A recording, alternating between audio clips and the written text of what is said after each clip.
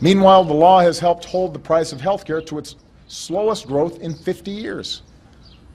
If your family gets insurance through your job, so you're not using the Affordable Care Act, you're still paying about $1,800 less per year on average than you would be if we hadn't done anything. This law is working is exactly as it's supposed to. In many ways, this law is working better than we expected it to. All right, I don't know what he's talking about, $1,800 a year or less than an average, yeah, whatever. But joining us now is Jennifer Rubin, Washington Post columnist, author of the Right Turn blog at the Washington Post. Jennifer, great to see you. So, um, your take on the uh, 6 to 3 decision. Everybody's uh, concentrating on Roberts. Roberts could have voted with the other three. We, they still would have lost that case. Right. It didn't seem that close, actually, at the end of the day. I confess I was not as optimistic as a lot of conservatives that the court was ever going to throw this out. This court has basically said to the country, you guys figure it out. Um, this law is highly contentious. It's going to be decided in elections, and don't expect us to save you from Obamacare. That's kind of the bottom line. It's not a legal opinion, but that's sort of the, the upshot. And I think for conservatives, this really does hit home. We cannot expect, um, once again, to have the court bail us out. If you lose elections, there are consequences. And we had better keep that in mind in 2016 and pick someone who can win the White House. Otherwise, this is going to be the law of the land for the foreseeable future. A- absolutely. But and, and, along those lines, and this is straying a little, what, what's your take on this?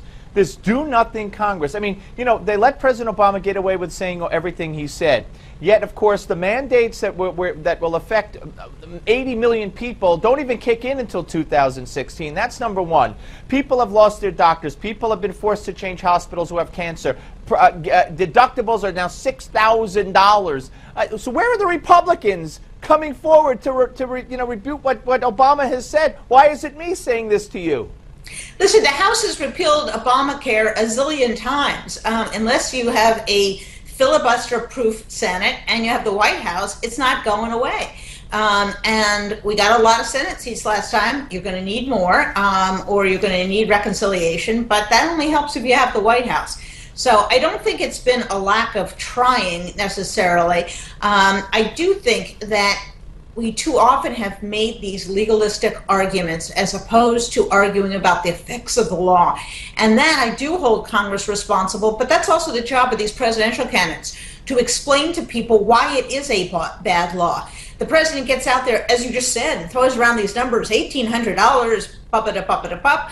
Right. I don't think that's the case. Um, but where are the hard luck stories on the other side? I think their job is a political one to explain to the country why this is bad. And right. oh, by the way, they better come up with an alternative because they're not going to beat something with nothing. Right, which is exactly what I meant. The, the, their job to, uh, to explain right. to the public why this is bad. Now, you wrote a piece about. Um, uh, the Iran deal, and very interesting in quoting the man who uh, Obama wanted to replace Netanyahu, uh, saying there is no difference between me and Prime Minister Netanyahu in reading the threat of Iran. I think that's very interesting.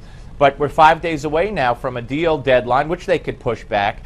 Uh, Iran is keeps spitting in our face, and, and, and we stay at the table. Right. I think it is almost inconceivable to me that Obama will ever walk away. Even if he doesn't reach a deal, they'll just keep talking, um, and maybe eventually they'll reach a deal. Um, at some point, talk about Congress acting. Um, the Senate needs to hold the Senate Democrats to their word. Back um, in March, um, actually it was in February, they made the deal.